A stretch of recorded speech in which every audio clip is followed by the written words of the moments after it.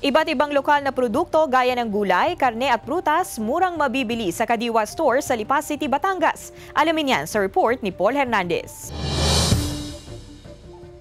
Kanya-kanyang pili ng mga gulay at prutas ang consumer sa binuksang Kadiwa Store sa compound ng Department of Agriculture Calabarzon sa Lipas City, Batangas. Hindi pa man nagtatanghali pero paubos na ang karamihan sa mga agrikultural na produkto na ibinebenta sa mas murang halaga. Dalawat kalahating kilo ng pata ng baboy ang binili ni Julie. Kasi yung panahon namin, 70s, may kadiwa na talaga. Ah, maganda. Ibinalik nila yung kadiwa.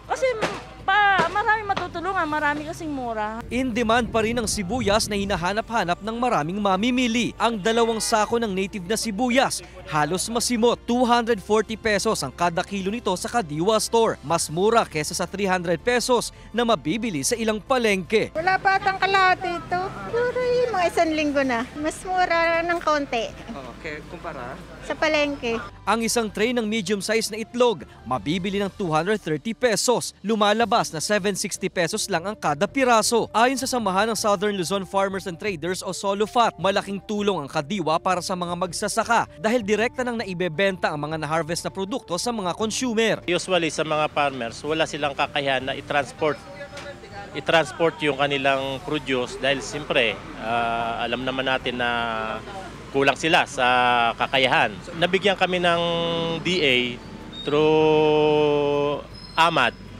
ng isang hauling truck na siyang pipick up dun sa mga farm. Hanggang alas 12 ng tanghali bukas sa publiko ang Kadiwa Store. Pwedeng puntahan at mamili rito tuwing lunes, miyerkules at biyernes.